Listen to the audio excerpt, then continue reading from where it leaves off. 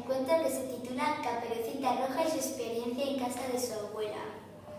Caperucita Roja iba tan tranquila dando un paseo por la zona del centro de Madrid, viendo las ciberes, el Palacio Real y también viendo los escaparates de las tiendas a ver si se compra algún modelito.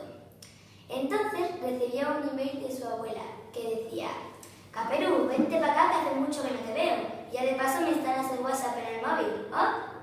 Entonces Caperu cogió su voz en golf y se fue a Alcalá de Henares a ver a su abuela.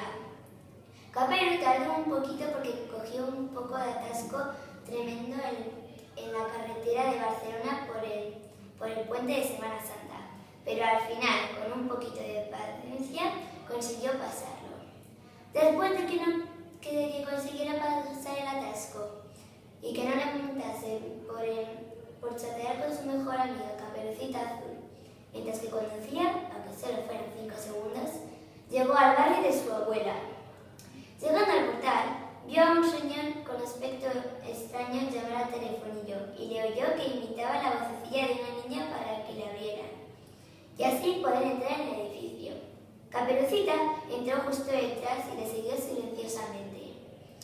Y cuando entró al apartamento, la abuela no estaba, pero sí encontró al hombre cogiendo los collares y el dinero que tenía en su caja fuerte. Y entonces fue cuando Caperucita entró en acción.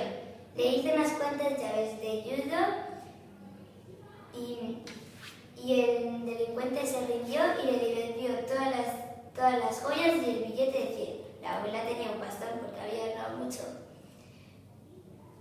La, la vecina de al lado, la señora Sonia, que lo había oído todo, llamó a la policía que llegó a tiempo para detenerle. Vio al, al armario que se movía, lo abrió y la abuela estaba dentro. ¡Abu, estás aquí! dijo emocionada. Estoy bien, tranquila, respondió la abuela. ¿Y ese tontaina de delincuente? preguntó la abuela. Le he pegado una paliza de las buenas, dijo, dijo Caperu. Vaya, las clases de judo dan sus frutos, dijo alucinada la abuela.